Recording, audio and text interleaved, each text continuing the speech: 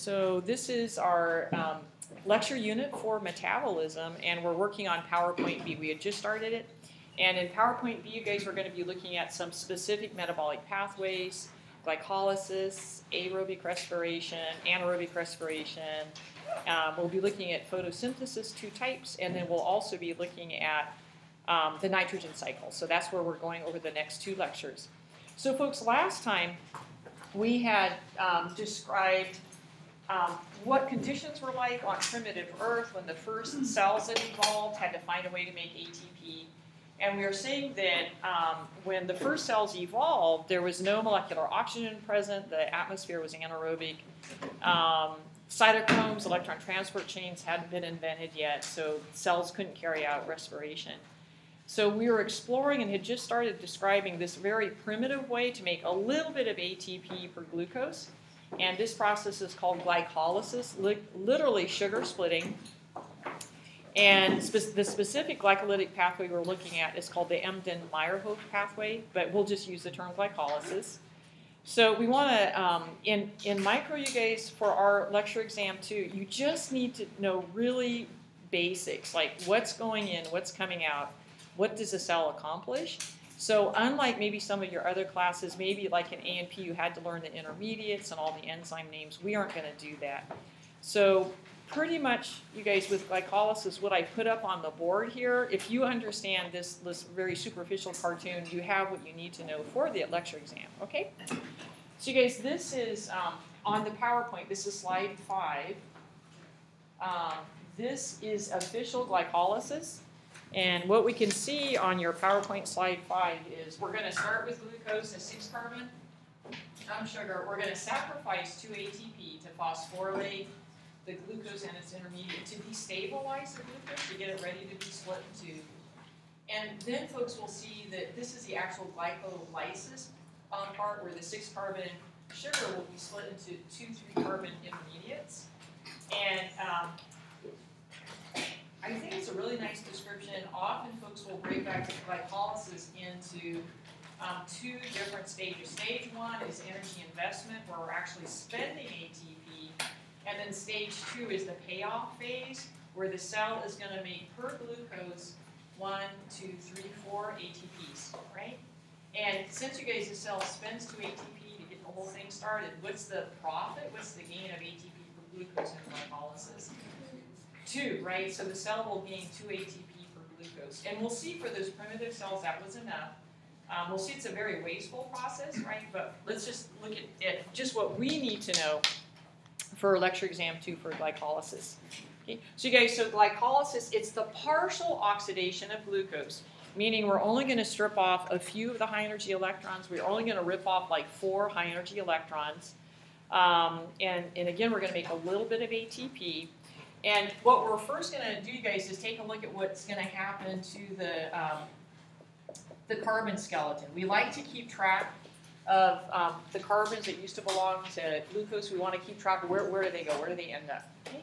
So folks, since I'm not going to, we don't need to know the enzyme names nor the intermediates, I'm just going to use a series of arrows to indicate the 10 enzyme catalyzed steps. So for glycolysis, there's 10 different steps, so we need how many different enzymes?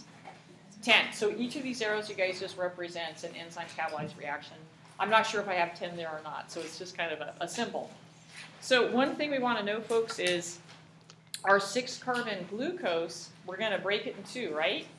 So one of the end products will be two three-carbon um, end products, and those are called, you can call them either pyruvic acid or pyruvates. Pyruvate is just the ionized form of pyruvic acid. And again, you guys, we just we're trying to keep track of the carbons that used to be part of glucose. Okay, so that's an important end product is the two pyruvic acid or pyruvate. Um, but then, in addition, you guys, we want to see what else is going into this process. So we could just do, you know, here's things coming in, here's important products coming out. So folks, remember we had to sacrifice what to get this process started? 2 ATP, right? So initially the cell has to spend 2 ATP. And the reason for this, oh good, I brought my, I, I brought my pop beads of science. Okay. So you guys, so glucose um, is really stable, right? It's strong covalent bonds, so it's not gonna it's not gonna split in two, right, without some energy being invested. So we could argue that one reason that the cell sacrifices 2 ATP is a 2 ATP. We're going to transfer phosphates, um, one phosphate from each ATP, to our glucose intermediate. So we're going to phosphorylate the glucose intermediate. And folks, at the, um, the pH of cells, the phosphate groups are going to be charged. So what kind of a charge do they have? Negative charges, right? And what do we know about, about like charges? They, they repel, right? So can you imagine that's putting a strain on the carbon skeleton already? Those, those charged phosphates repelling one another, right? So we could describe it as the phosphorylation, adding those phosphate groups, is going to help destabilize the glucose in preparation for what? Being split in two. So again, the cell has to sacrifice those ATPs to get the whole process started. Okay. Now, once once we we um, start rolling here, another cool event in the energy um, payoff stage is we are, as we said, you guys, we're going to start ripping off some high energy electrons. So we can't throw the high energy electrons into the cytoplasm, right? We always have to have a receptor there. So who's going to be our electron hydrogen atom acceptor? NAD. Good. Okay, so we're going to do two. Right, so we're going to end up stripping off a total of four high energy electrons from what used to be glucose. So we're going to end up with our reduced NADH Okay, and again, they're, they're carrying high energy electrons that used to be part of glucose, right? And then, folks, it's like, well, where's the ATP, right? So this happens towards the very end of glycolysis. Now, um, the cell will make a total of 4 ATP, so I'm going to have 4 ATP coming out here. But to make this balanced, you guys, I need to make sure I have the components of 4 ATP over on this side. I already have the components of 2 ATP here. But then I need to add an additional two ADP and two phosphate. So this is just our symbol, you guys, for inorganic phosphate, one of those phosphate functional groups. So this will come in. And as we mentioned, you guys, we're eventually going to end up with how many ATP made? Four. Good. But you guys, how many did we spend? Yeah, we spent two. So I'll subtract two. So what's the net gain? What's the profit of ATP? Yeah, so we, we'll say profit of ATP is 2 ATP per glucose. Now, you guys, that's a really low ATP yield, right? But initially, for the little, you know, the little primitive cells, it was sufficient, and there was a lot of preformed organic molecules around for them. So they didn't have to be that conservative, right? They, they could be wasteful. Now, the reason, you guys, I'm saying that this is wasteful is get, if I use a little asterisk as a high energy electron, right? Our glucose is chock full of them, right? So I'm just going to put these kind of random numbers, right? And remember, you guys, in glycolysis, we're going to rip off four of those high energy electrons. So this NADH, it carries actually four, the, the two NADH is a total are carrying four high energy electrons. So did we rip off all of the high energy electrons from glucose? No, this is a partial oxidation, right? So that means what? Do these pyruvic acids still have lots of high energy electrons? Yeah, that's why we're saying it's kind of wasteful, right? You're not harvesting all the high energy electrons, but we'll see later how the cell will do that later on. Okay. All right, folks, so that's glycolysis in a nutshell. Okay, so you guys, what happens to the glucose carbon skeleton, where does it end up? The 2-pyruvic acid, does that make sense? Okay, and we're going to rip off some high energy electrons from what used to be glucose. Where do they end up? There, okay, right? Are we going to make some ATP? Yeah, a total of, oh, say, I know it gets confusing. A total what are the total number of ATP made? Four, right? What's the profit? Two. Two. Awesome, you guys. And what did the cell have to spend to get glycolysis started? Two. Two ATP. Good job, you guys.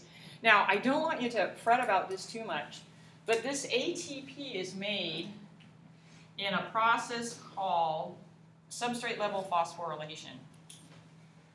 And we've got a, a slide, you guys, to show what we're talking about. And we can kind of keep this on the back burner because when we, we finally get to aerobic respiration and we talk about this massive amount of ATP that's going to be made, we're going to see the cell uses a second way to make ATP. So we're just introducing this description so that at the end of aerobic respiration we can compare these two different ways of making ATP. Okay, good, you guys. All right. So let's see what our slides have for us here. Okay, so again, you guys, this is just in words, glycolysis. So our six carbon glucose is split into two three carbon pyruvates. It's partial oxidation of glucose. The electrons are transferred to our NAD to make reduced NADH. A total of four ATP are made through substrate level phosphorylation. And um, so since the cell spent 2 ATP, the net gain will be, the net profit will be 2 ATP. So that's glycolysis in a nutshell. And this, folks, is just an example of substrate level phosphorylation. In this specific example, um, again, our whole focus, you guys, is ATP synthesis, right? So in this example substrate level phosphorylation, which occurs in glycolysis, we'll have an enzyme that will bind an intermediate that's carrying a phosphate group. And what the enzyme catalyzes is transfer of this phosphate group from this intermediate to ADP to make what? ATP. Okay, and again, you guys, right now this might be kind of like, well, so, but when we get to aerobic respiration, we'll see there's an entirely different way of making ATP, and then we can contrast it to the substrate level phosphorylation. So, folks, you might say, well, okay, this, this looks all right, but there's a huge problem, you guys, and the huge problem is that cells only have a little bit of this oxidized NAD. There's only a little bit in the cell. So this is in limited amounts, right? So folks, if the cell is carrying out glycolysis, what's happening to all of its oxidized NAD? It's all getting reduced to NADH. So you guys, if glycolysis continues, will the cell use up all of the oxidized NAD? Yeah, it will, right? And what happens, you guys, is that step, right, that step where the NAD is required, um, at that point, glycolysis shuts down. It's like putting a roadblock there. And the important, the important thing to recognize, you guys, where is all the ATP being made? Before the roadblock or after the roadblock? After the roadblock. So what's going to happen to ATP synthesis if the sun runs out? If the sun, if the cell runs out of um, NAD? There'll be no more glycolysis, no more ATP production, and what will happen to the cell? It'll die, right? So there was, you know, natural selection for cells to find strategies of how to um, oxidize this reduced NADH, meaning the cell had to find some molecule to dump the electrons um, onto, right? They can't just throw them into the cytoplasm because the naked electrons are really harmful. So, folks, the, one of the earliest strategies was those first early cells, they took this pyruvic acid, which is just a waste product, right? And so the cells use the pyruvic acid, and the fancy term, you guys, the pyruvic acid will become the final or terminal electron acceptor. So what do we mean by that? So again, folks, the goal is, is to dump the electrons from NADH. Where are they going to dump them? Onto pyruvate, okay? So let's see what happens when we do that. So we'll, we'll try to keep it balanced. You guys, 2 pyruvic acid, we have our 2 NADH. The NADH dumps its hydrogen atom, its electrons, onto the pyruvic acid. This is what the cell's after, right? This oxidized NAD. What is this going to be used for? Yeah, it's gonna it's gonna keep glycolysis operating, right? We're gonna resupply the cell with the oxidized NAD. Does this make sense, folks? Okay, good.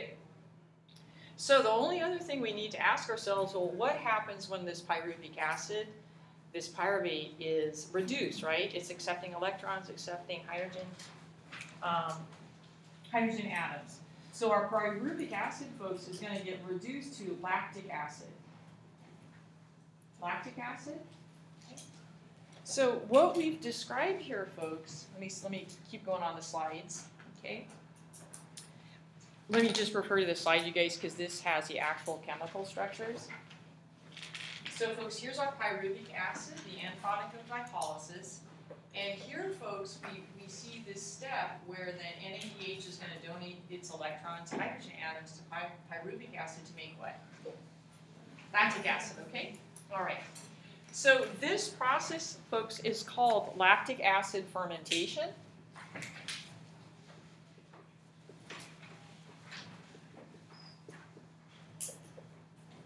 And this is a way for the cells, if, if we talk about lactic acid fermentation, folks, beginning with glucose and then going all the way to lactic acid, we could say lactic acid fermentation is a way for cells to make a little bit of, of ATP, 2 ATP per glucose, under anaerobic conditions when they don't have um, an electron transport chain to use, right?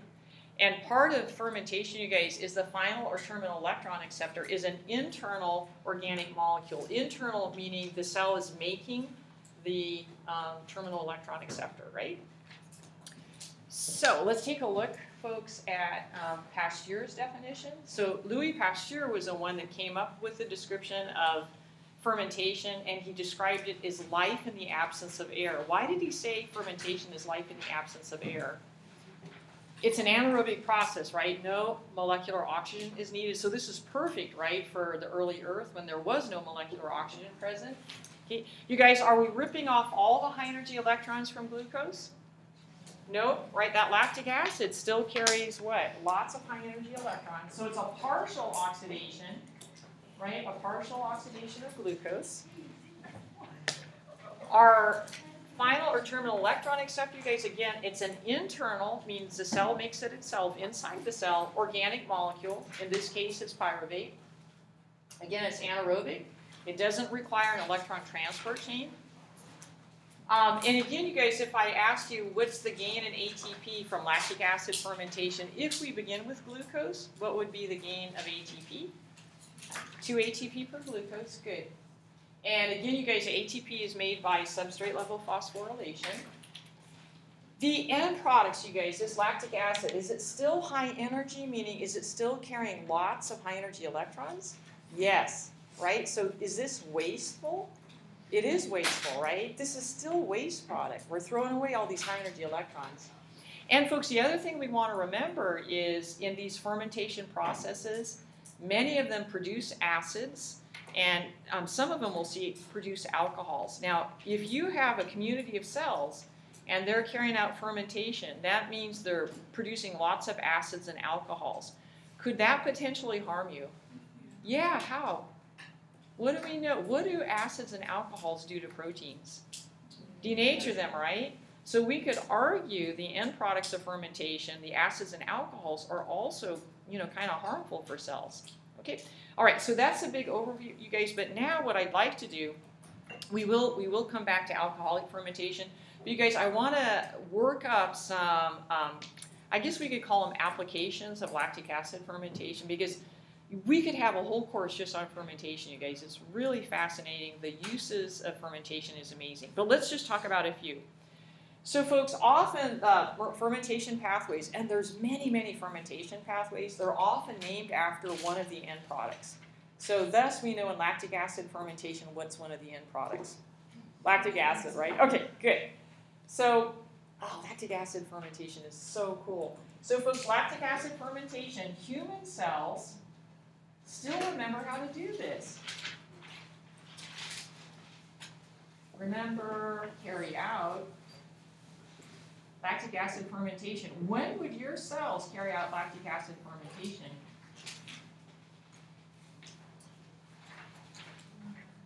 If your cells don't have enough molecular oxygen to carry out aerobic respiration, can they switch to lactic acid fermentation for a short period of time to make a little bit of ATP? Yeah, yeah. So those of you that, you know, if you're runners or you're working out really hard, sometimes your muscles will use up all the oxygen, so your muscles become anaerobic, right? So what do your muscle cells switch to?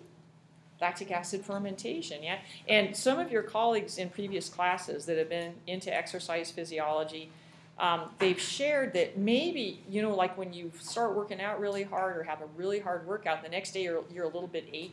And it might be, you know, you're stretching muscles. But some of that achiness might be from the lactic acid accumulation in the muscles. And I believe, and you guys in A&P, correct me if I'm wrong, the lactic acid will be transported to the liver where it can be converted back to glucose. Is that right, you guys in A&P? Thank, thank, thanks. Good. All right. And, and also, folks, um, to me this is fascinating. Remember when we talk about endotoxic shock, sepsis, septic shock, and we said there's a decrease of blood flow to the tissues, to the cells, so they're not getting enough oxygen. So what can your cells do? You know, this desperate, you know, desperate attempt to make enough ATP, they'll switch to lactic acid fermentation. And I think, folks, this is why um, when a patient is being screened to see if they are going into sepsis or septic shock, they'll they'll check the blood acid levels, right? And if the acid level is unusually high, that might be a suggestion that the cells aren't getting enough oxygen and they're switching over to lactic acid fermentation. Yeah, so it's it's still it's kind of our our our emergency backup, right, under anaerobic condition. It we can't survive long, obviously, you guys. We know we're you know we'll suffocate rapidly, but the cells can maybe make a, enough ATP just to give us I don't know I don't know if it would be like a few more minutes of life, right? And then, folks, um, again, looking at humans, we have all kinds of wonderful beneficial bacteria called lactic acid bacteria that live on our mucous mem- membranes. Why do you think these bacteria are called lactic acid bacteria? Because what do they carry out? Yeah, they carry out lactic acid fermentation. And um, these lactic acid bacteria, guys, it's a great big family. It includes members of the genus Streptococcus and uh, Lactobacillus. There's others, but these are just a couple of pretty common ones. And folks, these lactic acid bacteria, they are part of our normal defenses. We forget that. These good beneficial lactic acid bacteria, they live on our mucous membranes. They take sugars our body produces. Um, ferment them and make lactic acids and drop the pH, right? Drop the pH. And as a consequence, you guys, that low pH, that, that acid will inhibit the growth of many um, opportunistic pathogens. So we could put you guys, and I'm trying to, because of the movie here, I'm trying to kind of scrunch it in here. So we could say, you guys, these guys are, um, um, they're beneficial members of the human microbiome. The acids they produce inhibit opportunistic pathogens like good old Candida albicans that we um, in lab we saw today or we will see today.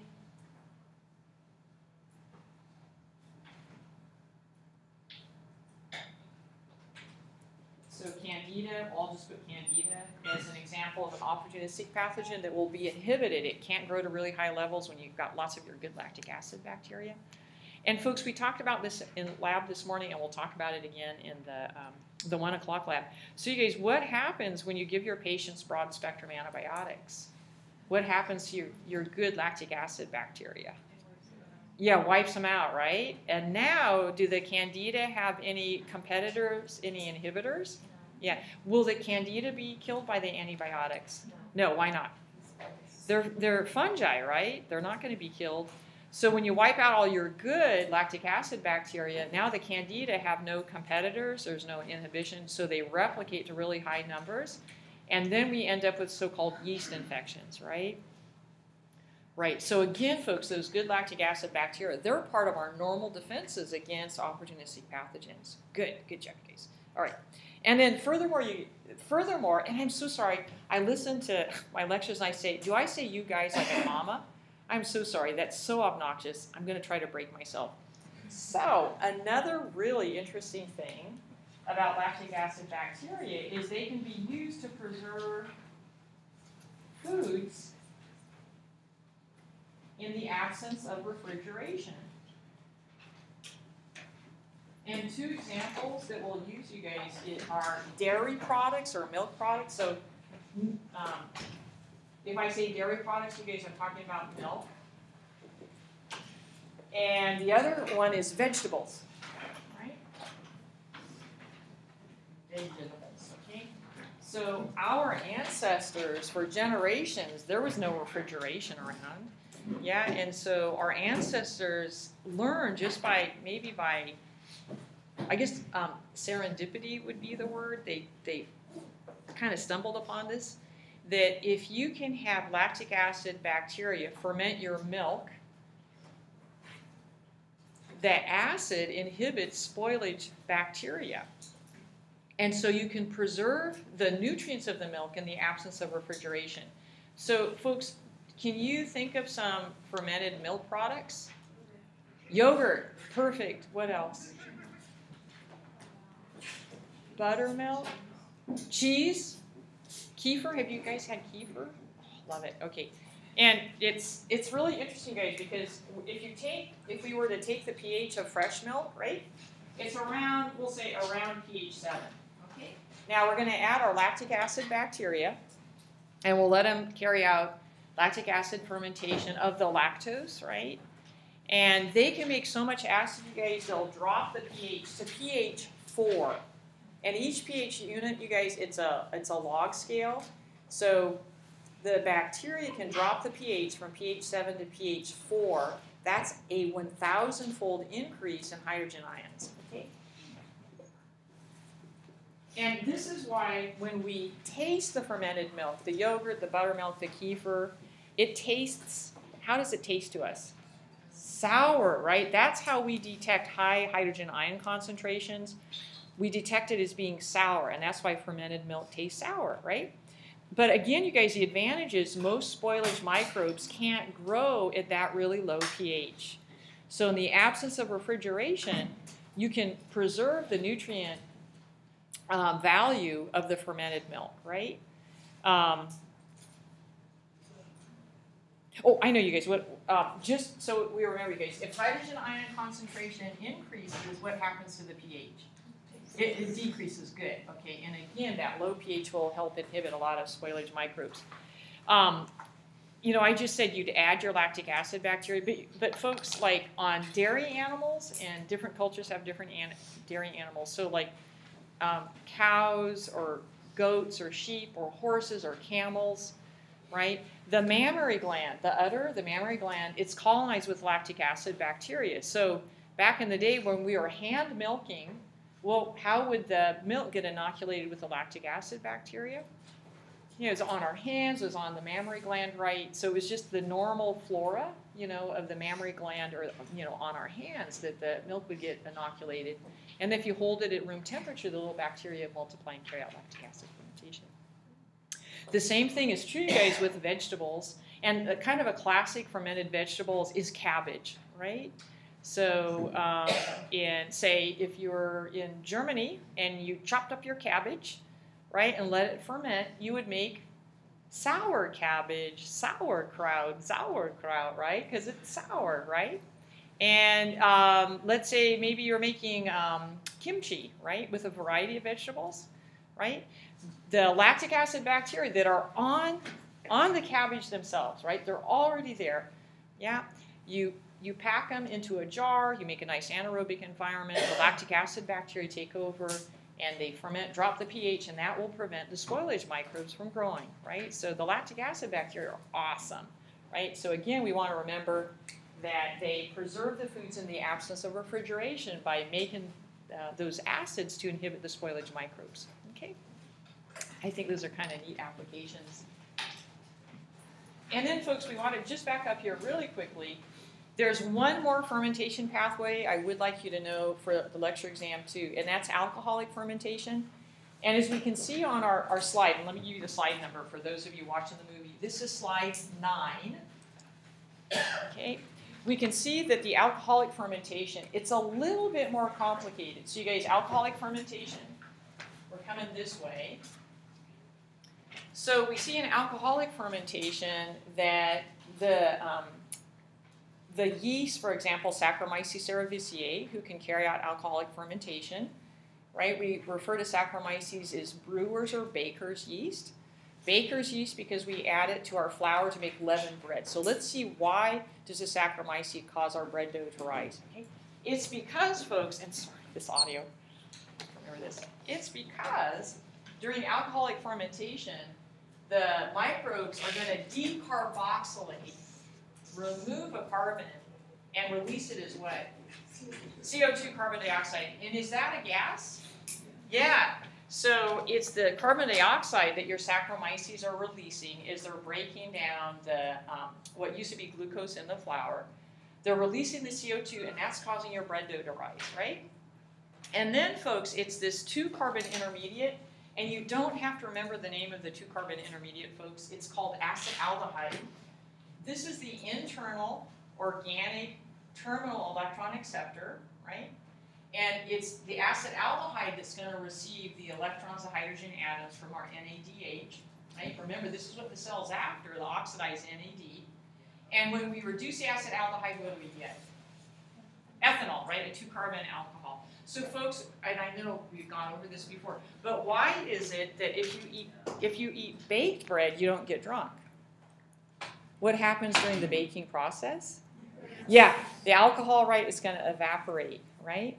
If you ate raw bread dough, I mean, there's going to be alcohol there, but that's usually not very pleasant. It's not like cookie dough, right? Raw cookie dough. But in contrast, you guys, if you were doing alcoholic fermentation, say on grape juice or on fermented grains, right, and you're, you're not heating it, um, what do you get? In the fermented beverage, you will have that ethanol, right? And that's where the ethanol in beer and wine comes from, right? Is the alcoholic fermentation. A, a side note, you guys, and to me again, history is fascinating. Remember how we said Pasteur came up with the definition of fermentation, life in the absence of air? And this was a reflection of his experiments trying to save the French wine industry, right? So the French winemakers were in a panic because all of their wine was turning out sour. What does sour make you think of? Acids, right? So nobody knew what was happening. So so Pasteur ran a series of experiments with grape juice, and what he discovered was the grape juice was turning sour because there were there were acid producing bacteria that were getting into the grape juice instead of the Saccharomyces. These acid producing bacteria were fermenting the grape juice into acids, right? So Pasteur was brilliant. He came up with a simple solution. He, told the grape the the grape growers, the winemakers, when you have your grape juice, heat it. Heat it first to do what? Kill any of the contaminating bacteria, right? And then after you heat it and you kill all the bacteria, now you're going to add what? Saccharomyces, yeah? And that's how he saved the French wine industry. That was that was kind of a big deal back then. So you guys, what do we call the process um, when we heat liquids or foods to kill harmful microbes? What do we call that process? Pasteurization, right? So that was developed by Louis Pasteur. And the other little tidbit, you guys, is he considered the bacterial infection of the grape juice as a disease of wine, right? Like the bacteria were pathogens, you know, of the grape juice, of the wine. So he talked about diseases of wine, and this helped him when he um, continued doing experiments trying to prove the germ theory of disease that a microbe can infect another organism and cause harm. Back in the day, some people thought that, that microbial pathogens just arose spontaneously inside of you because maybe you'd angered God, you know, you're a bad or sinful person. So Pasteur and Koch did really important work to prove the germ theory of disease. And I just thought it was fascinating that saving the French wine industry played a part in the germ theory of disease. Okay, you guys. Um, oh, one more thing. Um, We've talked about how the lactic acid fermentation can inhibit spoilage microbes. Folks, do you think that alcoholic fermentation could help preserve the nutritive value of, um, of uh, germinated grains and fruit juices like grape juice? Do you think? Yeah, I agree with you. Because what do we know about alcohol? What does alcohol do to proteins? It denatures them, right? So again, you guys, we see in alcoholic fermentation the alcohol is going to help kill or inhibit spoilage microbes. So again, folks, we could argue this was an early way of preserve, preserving foods in the absence of refrigeration, right? You could preserve the nutritive value of your germinated grain, um, the nutritive value of your grape juice or other fruit juices by carrying out alcoholic fermentation. And one last little tidbit you gave is um, it might be this explains why in um, some parts of Europe, children sometimes are introduced to wine or beer. They're served diluted wine or beer, and it might date back to the days in Europe when it was safer to drink wine or beer than it was to do what? Drink the water, right? Because back in the day, people didn't understand fecal oral transmission. You know, feces could contaminate drinking water. And in the feces, you guys, there's all kinds of pathogens, right? And so if you drank the water, you would drink the fecal pathogens. And for little kids and babies, that's devastating. They would develop diarrhea, just die from diarrhea. So it might be just, I don't know, through experiments, you guys, maybe because the adults knew it was safer to drink wine or beer than it was to drink the water. Maybe they, they started adding some wine or beer to the drinking water they gave their kids. And who knows, I don't know. We should do this experiment. Find out if diluted wine or beer will inhibit um, some of the, the um, potential um, bacterial pathogens, right? Yeah, again, you guys, I, history to me is so fascinating because I'm always trying to say, oh, that's related to microbiology, right? That practice came up because of public health microbiology. Okay, let me see here. Are we finished with fermentation? No, not quite yet. And folks, although lactic acid fermentation and alcoholic fermentation are the two pathways I want you to know for our lecture exam, do be aware there's many, many different fermentation pathways. And this this is uh, slide what? This is slide 11 and 12, folks. These are just examples of some of the other fermentation pathways. So down at the bottom, it's talking about fermentation um, end products. So we've talked about lactic acid fermentation. We've talked about alcoholic fermentation. There's a propionic acid fermentation. I won't ask these others on the exam. But propionic acid um, fermentation, you guys, is carried out by the bacteria called Pro- Propionibacterium. And to me, it's fascinating, you guys, because Propionibacterium can contribute to acne, the inflammation we get when they infect our skin. And they're also used to make Swiss cheese. So, kind of those unusual flavors in Swiss cheese comes from the Propionibacterium. And I've always thought, what a wild combination acne and Swiss cheese. Anyway, go figure. Um, butyric acid fermentation, you guys, by the Clostridium. Um, there's a, a, species of Clostridium called Clostridium perfringens, which can cause gas gangrene. If you've seen, like in the old movies, you guys, somebody has gangrene. Um, so the Clostridia can actually ferment our tissues, producing massive amounts of gas. Um, the last two, you guys, the, um, those last two groups, um, the E. coli and Salmonella, they carry out a fermentation pathway called mixed acid fermentation. And in lab, we're gonna we're gonna learn a metabolic biochemical test that will let us detect that mixed acid fermentation.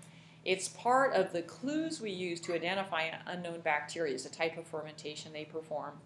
And then the other little guy on the end, Enterobacter, that's a close cousin of E. coli. It carries out a different fermentation pathway, and so we're going to use a different metabolic test to determine what's called the butylene glycol fermentation pathway. So right now, you guys, we just want to know that in lab we're going to come back and we're going to be detecting some of these different fermentation pathways in our attempt to identify unknown bacteria. And then I love to eat, you guys, so it's like fermentation products. Many of them are good to eat. Some of them are not good. Like don't eat or drink nail polish remover or rubbing alcohol. Don't eat those. These others are pretty yummy. Cheese, right? Uh, yogurt, soy sauce, these are all fermentation products, wine and beer. Um, vinegar. Vinegar, you start with a fermented product like apple cider or wine, and then you actually have an oxidation by acetic acid bacteria. But anyway, we'll still say it's a, it involves fermentation.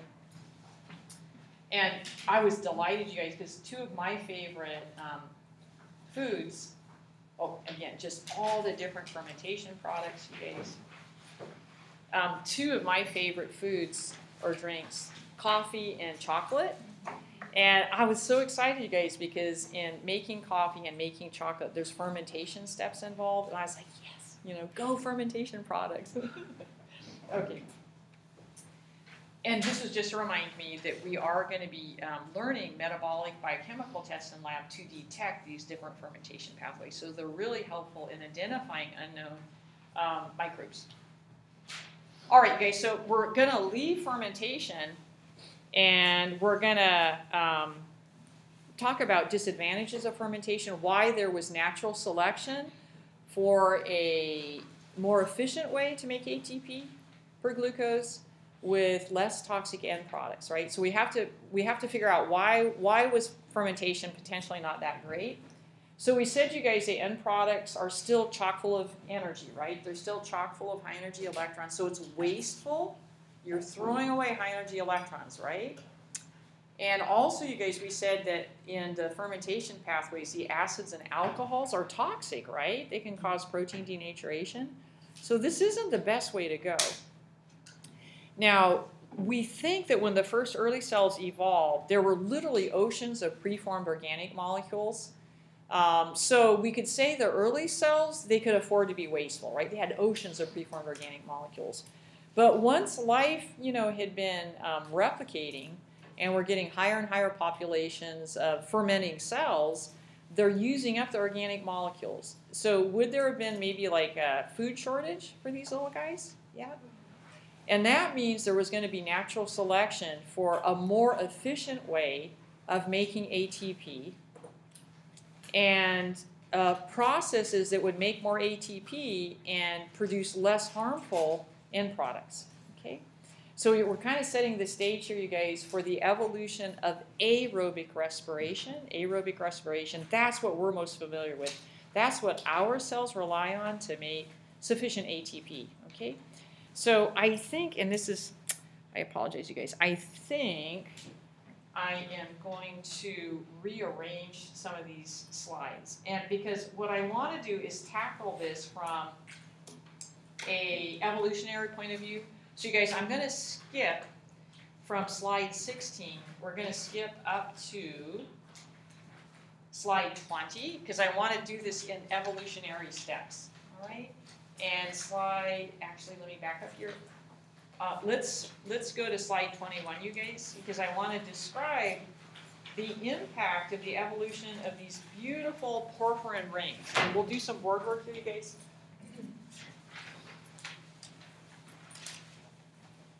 So if we're going to switch from fermentation to aerobic respiration, aerobic respiration is so complex. It's got an electron transport chain, it's got ATP synthase, it requires molecular oxygen. So some big events had to happen, right, before aerobic respiration could evolve. And we're gonna we're gonna use the evolution of these beautiful porphyrin rings as the, the trigger, the catalyst for the evolution of aerobic respiration. And we'll we'll explore why you guys.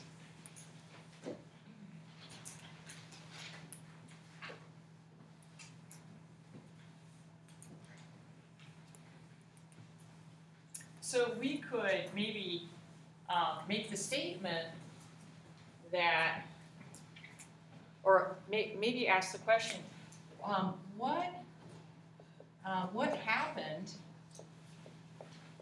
which permitted evolution of aerobic respiration? And I would argue, guys, the big event was the evolution of porphyrin rings. And again, folks, you, you won't have to, you know, identify a porphyrin ring. I just wanted you to see what they are. And then let me back up you guys to the previous slide, slide 20, because this will be the text that I'll basically put up on the board. Okay. So the reason the evolution of porphyrin rings was so important is they permitted evolution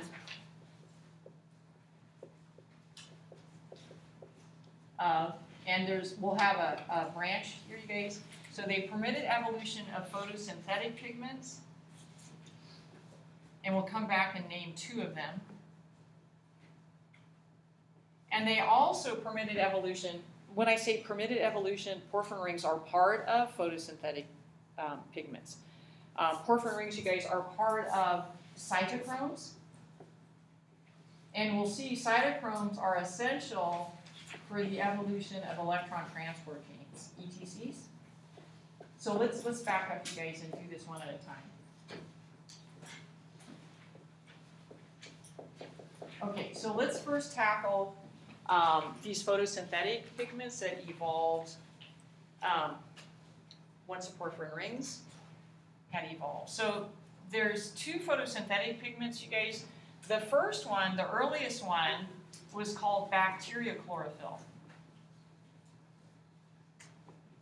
And this probably sounds really weird because we don't hardly ever talk about bacteriochlorophyll. Bacteria chlorophyll was the first primitive photosynthetic pigment that evolved, and it permitted this process called anoxygenic photosynthesis. So no oxygen was made, right? And, it, and towards the end of the metabolism lectures, you guys will come back and look at this in a little bit more detail. But once cells evolved the pathway to make bacteriochlorophyll, it just took little minor adjustments and then we had evolution of chlorophyll A. This is the one that we're most familiar with, right? We go CHLA. And you guys, which amazing process does chlorophyll A um, permit in the presence of light? Yes, oxygen. Now, was that a big deal? Wow, was it ever a big deal, folks? Because up until this point, what was Earth's atmosphere like? It was anaerobic, right? And, and thus, with the evolution of chlorophyll A and oxygenic photosynthesis, what slowly started accumulating? What in oxygenic? What are, are the little cells pumping out? Oxygen, right? So we have this slow accumulation of molecular oxygen. So what happened to Earth's atmosphere? Slowly, slowly, it became aerobic, right? And I think today, you guys, it's we're at about ANP folks, around 20, 21% molecular oxygen today. Does that sound right? About so today we're at about 21% molecular oxygen. Okay, so okay, and, and but it, you could say, well, so what? Who cares, right? Well, now now let's go over here. Let's see how cytochromes permitted evolution of cytochromes. Wait a minute, did I say that wrong? I did. I misspeak all the time, you guys. I'm sorry. Porphyrin rings permitted evolution of cytochromes. Cytochromes are important um, components of electron transport chains. And electron transport chains, you guys permitted evolution of what we call cellular respiration. This is what this is where we'll be heading next. And again, you guys, there's two types of um, cellular respiration. Again, you haven't heard of the more primitive type because we only find it in prokaryotes. The first to evolve was called anaerobic respiration because it does not require molecular oxygen. And it makes sense, you guys. Early Earth, there was no oxygen. So when cellular respiration first evolved, it was anaerobic because there was no oxygen around, right? Because what happened once the beautiful little um, photoautotrophs started pumping out oxygen, then what evolved? What, what is the type of respiration we're most familiar with? Yeah, aerobic respiration. So I would argue, folks, that this huge change in Earth's atmosphere from anaerobic to aerobic and the evolution of these electron trans transport chains, which we'll see permit massive, massive production of ATP, um, um, permitted evolution of aerobic respiration. This was all because of the evolution of these porphyrin rings. And I'm like, that was phenomenal, right? Just that one, one molecule, chemical structure had such an impact on the evolution of life on Earth. Okay, so to me, that stuff is just like, oh my gosh, that's like chocolate. Okay, all right, guys. So with that introduction, then we want to we want to now um, um, describe this new way of producing lots of ATP, almost 20 times more ATP per glucose than glycolysis, um, complete oxidation of glucose, um, far less toxic end products, carbon dioxide and water. So we're talking about what? What incredible process that you guys are doing right now. and You're not even think about it. Aerobic respiration. Good. Okay. So you guys, this is the, the, the big overview, the big description of aerobic respiration. So let's walk through it. And this is slide, again, for those watching the movie, this is slide 23. Okay? So this is the general description, you guys, of aerobic respiration. Do you see that redox reaction up at the top? Is that the redox reaction I'm gonna ask you to write on lecture exam two in the short answer. Okay, so guys, let's put it up here, just, so we'll practice it, so you'll get it hundred percent right.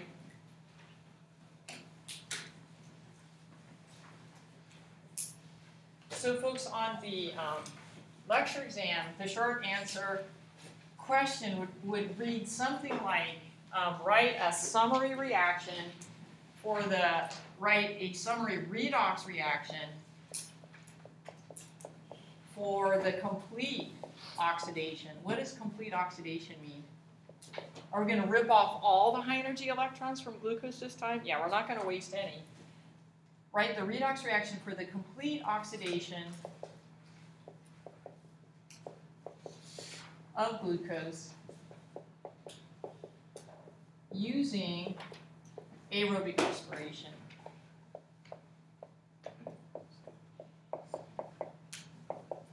And again, you guys are going to do reactants. The arrow will represent multiple enzyme catalyzed reactions. So remember, just a summary. And then we're going to end up with end products. Okay, so you guys, um, if we're talking about aerobic respiration, we need a source of high energy electrons. What's the source of our high energy electrons? Glucose, right? Here's our source of chemical energy, our high energy electrons. That's a reactant. Okay, source. Uh, high energy electrons that will be used to do work. And folks, we always have to have a, a terminal final electron acceptor. And in cellular respiration, it's going to be an external inorganic terminal electron acceptor coming from outside the cell and it's inorganic. So what, what's our second reactant? Our terminal electron acceptor will be oxygen. And notice you guys, I'm not balancing my equation, so obviously you don't have to balance your equations on the exam. So this is going to be our external inorganic terminal electron acceptor. Okay. So the arrow represents, you know, like two hours of lecture. So we have to go through all the steps. And so, folks, um, what we want to ask is what's going to happen to glucose when we totally oxidize it? What are we going to end up with? CO2. Good. And folks, when we use the energy from the high energy electrons and now we have low energy electrons, we have to donate them to somebody. Who are we going to donate them to? Oxygen. So what happens to the oxygen when we reduce it? Water. Good. And what folks usually forget on the short answer section, why is a cell doing this? To release energy. So don't forget energy, folks. As long as you put energy, you'll get you'll get credit. But just in the back of your mind, remember about a third of it will be used to make ATP. And, and you guys, I'm going to use the old values. These were these are just theoretical maximum values. It turns out the cells can't make this much, but I'm going to use the old theoretical max. In the old days, it was said 36 to 38 ATP per glucose. They now know it's lower. It's probably like 34. right? but we'll just use the old values for now. And then what's happening to the other two thirds of the energy? Released as heat, exactly. So we're still losing a lot, but that's all right. Are we making a lot more glucose, you get? Sugar. Ah, sugar, literally. Are we making a lot more ATP per glucose? Yeah, you could all you could kind of push it, say almost 20 times more ATP per glucose, right? So you're you're oh my gosh, increasing ATP yield, you know, amazingly. And folks, what about end products? Is the carbon dioxide and water are they going to be as toxic as those fermentation and products of acids? Yeah. So this was amazing, you guys. This was an amazing amazing event, right? In the evolution of life on Earth. Okay, so you guys, just with that is kind of our our um, our summary. So you guys, so aerobic respiration, these are descriptions. Complete oxidation of glucose, we're going to rip off all the high energy electrons. Um, we're going to use an electron transport chain, folks, to make a proton gradient, which will um, be cartooning and looking at, at um, um slides. Does it require oxygen? Does it require oxygen? Does it require oxygen? Yes. Yeah, look at our reactants, right? We have to have oxygen.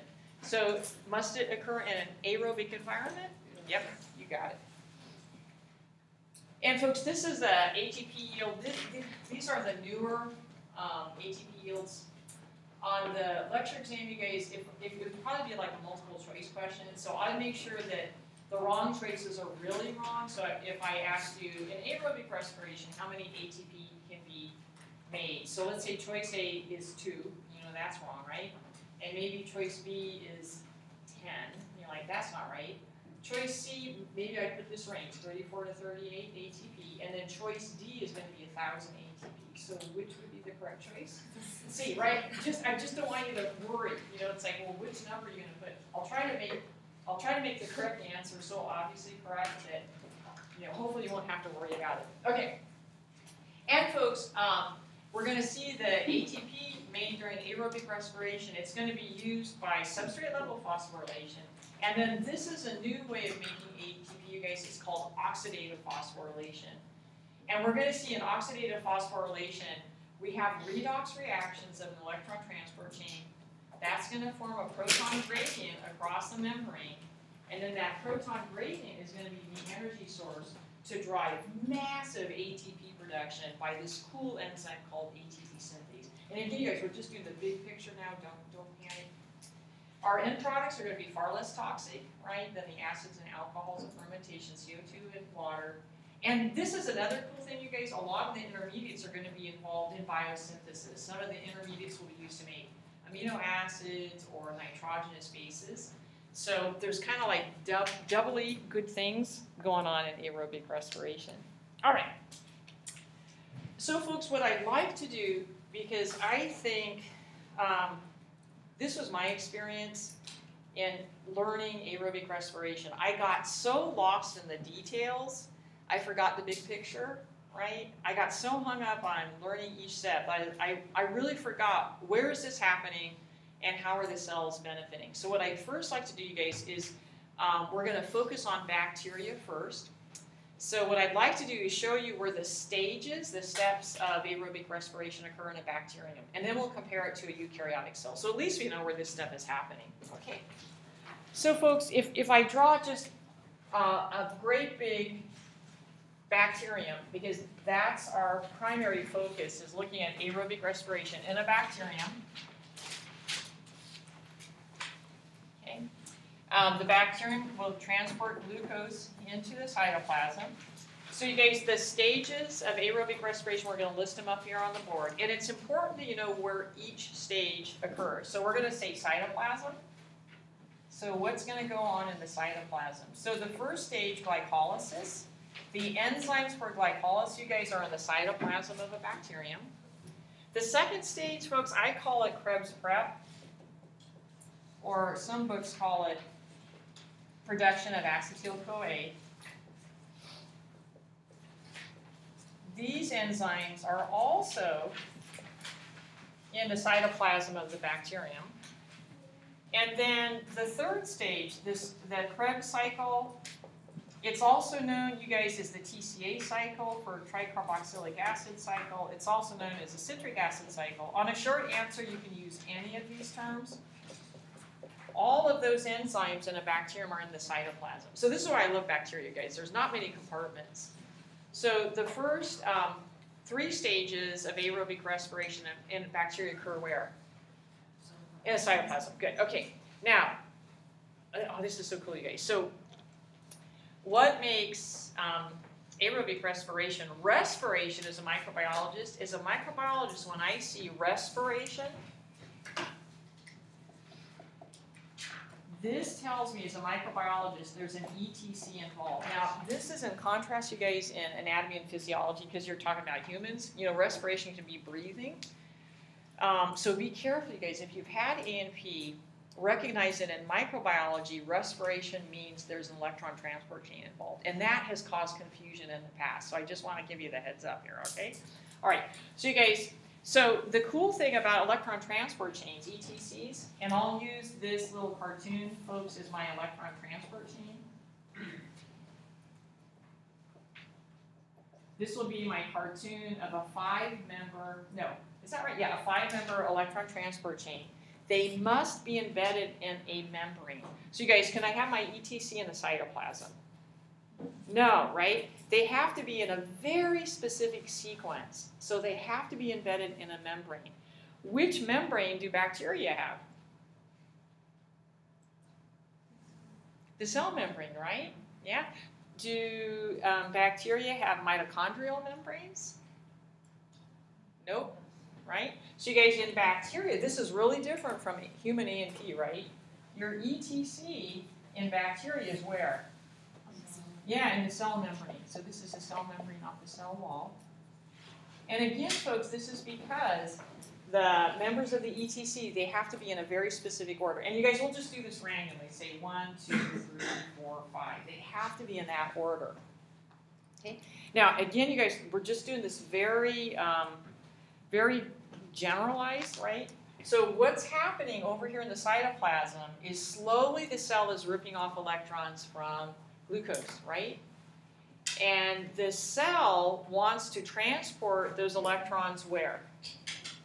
To the electron transport chain, right? And we're going to see you guys, that's the role of our NADH and FADH2, but I'm just going to show these folks as,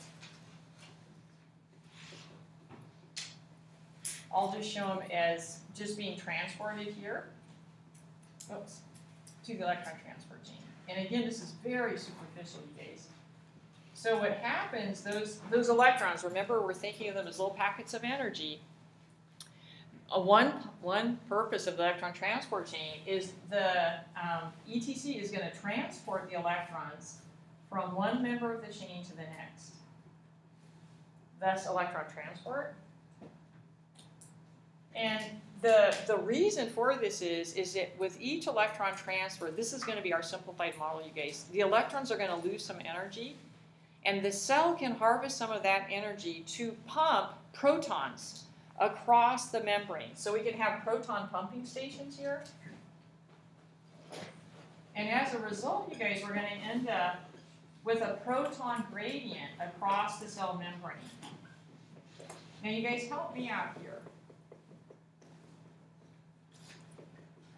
Which side of the membrane has the higher hydrogen ion concentration? The cytoplasmic side or outside? Outside, right? So we've got high hydrogen ions outside, right? And we have low hydrogen ions inside. So what kind of transport is this? It's active transport, right? And we know active transport, we have to have a membrane uh, protein, right? So that's members of the ETC, they act as proton pumps. But what else do we know about active transport? It requires extra what? Almost, almost you guys, it requires extra, be more broad, general. Extra energy, right? So you guys, this is what always messes with folks on the um, exam. And it's because I think we get taught incorrectly in junior high and high school. So you guys, what is the source of energy for the electron transport chain? Is it ATP? What, what is the ETC transporting? Electrons. So, folks, the source of energy for the electron transport chain to pump the protons active transport is what? The electrons. Where did the electrons come from way back when? Glucose, right? So that's what those high energy electrons, that's their big job in aerobic respiration. They're the power supply for the electron transport chain to do what? Uh, is the ETC making ATP? This is where you guys, we are so misled in junior high and high school. Makes me crazy. It's like so many introductory biology books say the ETC makes ATP. Mm-mm. What is the ETC making? A proton gradient. Now you're like, what?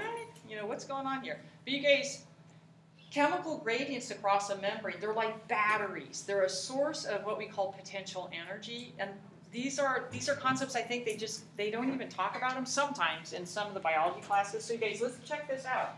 So the function of the ETC, you guys, is what? What is it doing for the cell? It's forming a, a awesome, you nailed it, you guys. Its its function is to form a proton gradient. A hydrogen ion gradient across the membrane. And why is that helpful? The proton gradient acts like a battery. Is is similar, like similar to proton gradient is like a battery. It's a source of potential energy. Potential energy is energy that has the potential, has the, the, the future to do work.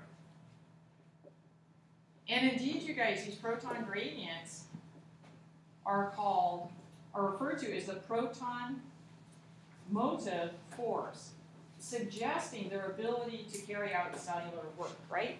And you guys remember cellular work includes anabolism. Is ATP synthesis anabolism? Biosynthesis?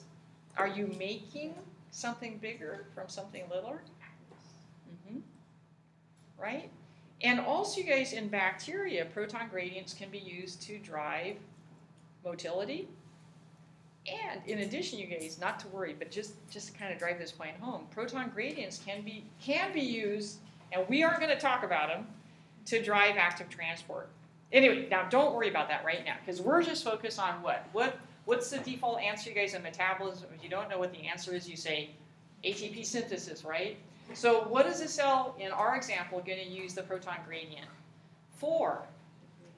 Massive ATP production, you guys. Now, who's going to make our ATP?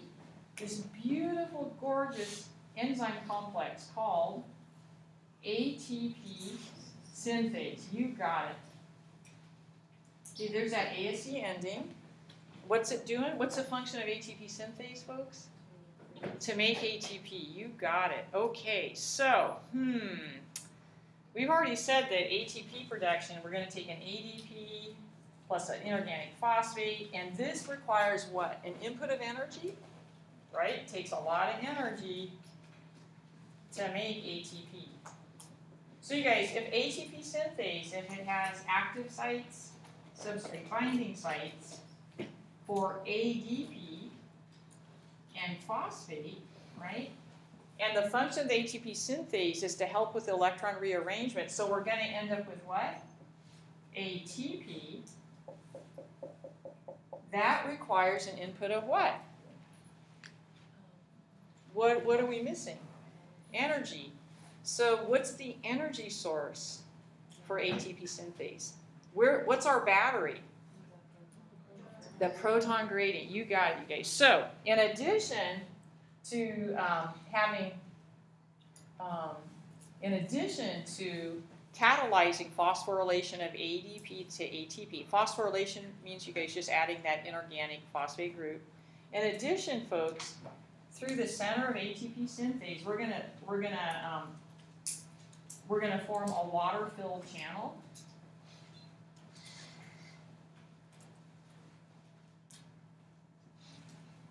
and we want to, okay, we're, we're kind of backing up here, you guys. So, hmm, okay. What is preventing these protons from just diffusing across the lipid bilayer of the cell membrane? They've got a charge, right? So are they going to be able to diffuse through the hydrophobic region of the lipid bilayer? No. They're going to need a membrane protein, right? In this case, filled with water. Could the protons flow back down their gradient from high to low across the membrane through that water-filled channel? Yeah, it's one of the few ways they can. So you guys, we're going to have movement, we're going to have flow of the protons from outside the cell through ATP synthase, right? That's how they're going to flow down their gradient. And you guys, I do not know the biophysics of this. I know there's some real, really cool YouTube videos where they show this step by step, but I'm going to keep it really simple because I have a simple mind. So as the protons are flowing, you guys, it's almost like an electrical charge. Like instead of electrons with negative charges, we have positive charges flowing through. ATP synthase is a protein, right?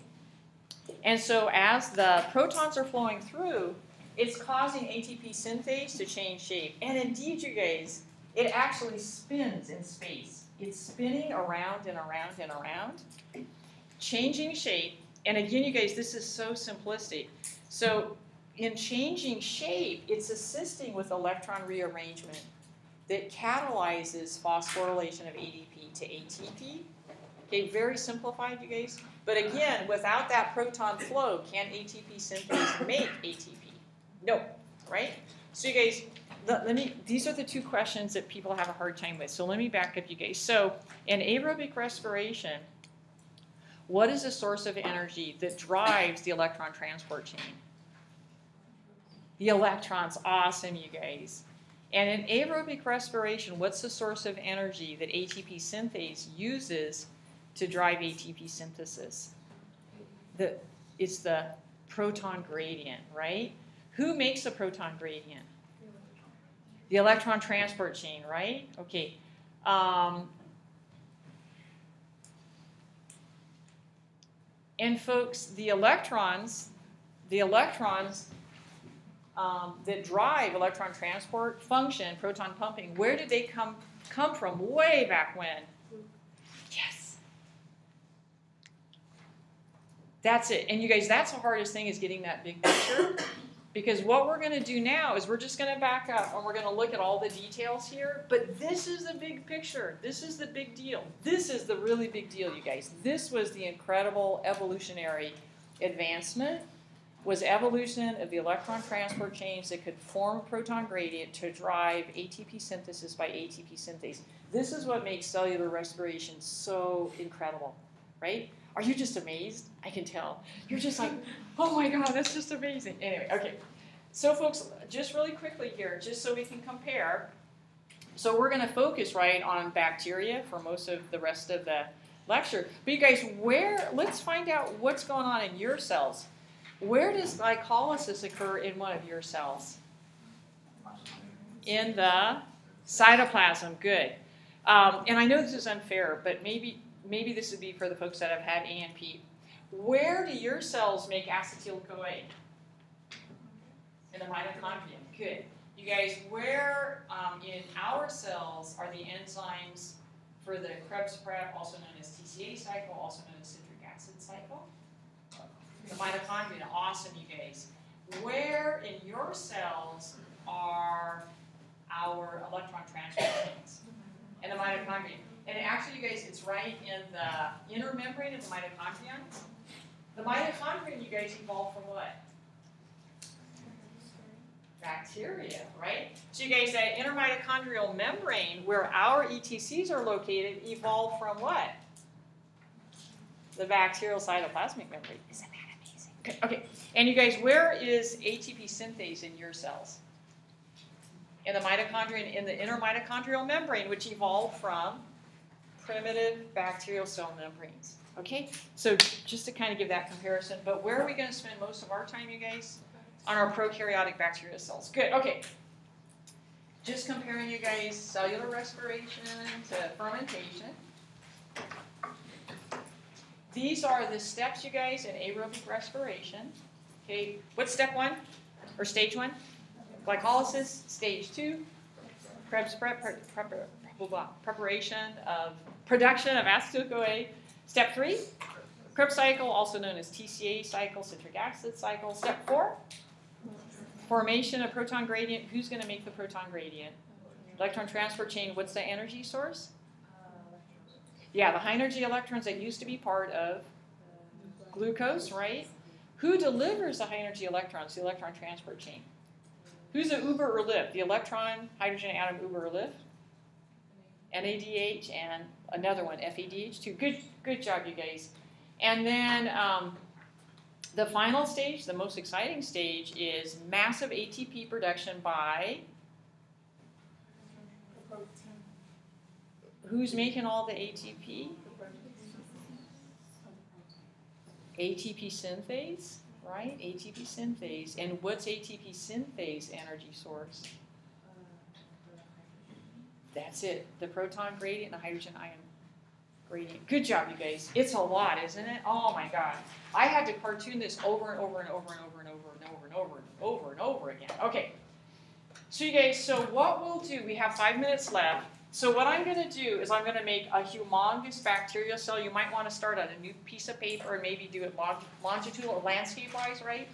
Because I want to put the key events in all the stages of glycolysis in my little bacterial cartoon. Okay. okay.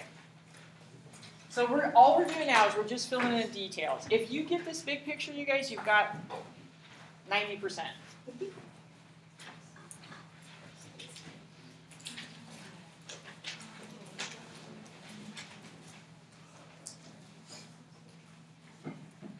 again, folks, we're really superficial here. What's going in, what's coming out, what does a little cell accomplish? That's really what we're asking ourselves at each of those stages.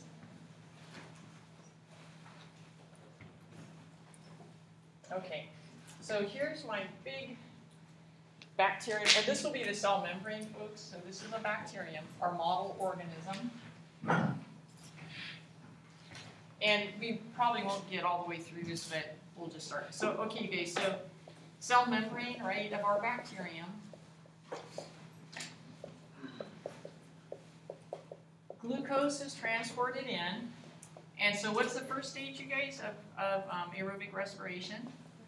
Glycolysis. Okay, awesome, you guys. So glucose is coming in. Glucose, the six carbon glucose is going to get split into what? Two, three carbon pyruvate or pyruvic acid. Either one is fine, you guys. Good. Okay. To get it started, what did the cell have to sacrifice? Good. 2 ATP going in. During glycolysis, the cell is going to harvest four high energy electrons and pass them to who? Our Uber Lyft for electrons, hydrogen atoms. So NAD, right? So we're going to end up with what? Two NADH, okay? And, and you guys, these two NADH, they're carrying four high energy electrons. I'm just going to use little stars. Four high energy electrons. Where do they come from? From glucose, right? That's that's what glucose is. It's our source of high energy electrons. Okay, good. Um, are we going to make any ATP? Gesundheit. We're going to make a total of four ATP, right? But you guys, I, I have to make sure I'm, you know, I have components for two ATP. So to balance this, I have to have the components for two more. So I'll, I'll go two ADP plus two phosphate. Okay, going in, coming out. All right. And again, folks, um, what was the profit of ATP? Two. Right, we spent two. So we're going to have a profit of 2 ATP per glucose profit. Okay, so we have to hold on to those. You guys are easy to lose. And how did the cell make those? By substrate level phosphorylation, okay? All right, so I'll just leave it as that. All right, now you guys, remember how we said this pyruvate is still chock full of high energy electrons? So the cell now in the next several enzyme catalyze step is going to finish ripping off all those high energy electrons. We're not going to waste any of them. And folks, in this next step, let me let me show you the, the, the step that I call the Krebs prep or production of acetyl-CoA. Let me show it one pyruvic acid at, at a time, and then we'll balance it on our cartoon. So guys, in this next step, the Krebs prep production of um, acetyl-CoA, we're going to decarboxylate our pyruvic acid. We're going to rip off that, that one of the end carbons and release it as what? So now we're starting to lose our carbons as, as CO2, right? And and then you guys, what we're going to do is we're going to we're going to rip off some more high energy electrons from this little intermediate, this acetate. We're going to pass them to our electron carrier, or we could call it the Uber or Lyft for electrons, right? NAD, we're going to make an NADH. And then the final step, you guys, this is kind of weird. We have to have like a carrier molecule for this little two carbon res residue of what used to be glucose, so this little acetyl group. And the carrier molecule is called um, coenzyme A. So the end product, you guys, of this step is acetyl-CoA. And what we're interested in, this is the residue of what used to be glucose. These two carbons and their electrons, this is what used to be glucose. So we get, so folks, if we did just a cartoon here and keep it balanced, if we go Krebs prep, so we're going to follow the two pyruvic acids. You guys are pyruvate, sorry. So how many carbon dioxide are going to come off? Two, right? Okay. How many um, um, reduced, excuse me, sorry you guys, I misspoke. How many oxidized NAD do we need to oxidize the two pyruvic acid? Two, good. So we're gonna we're gonna have two of our reduced NADH. Again, you guys, the two NADH are are carrying a total of four high energy electrons. And then the final step, you guys, is we have to introduce that coenzyme A, that carrier molecule, right? So where now um, are the carbons and what remains of the electrons from what used to be glucose? They're on this acetyl, acetyl, I can't spell, it, acetyl CoA, right? And again, you guys, these are carbons and electrons that used to be part of what? Glucose, right? And I, my color coding is all wrong. But you guys, let's stop there.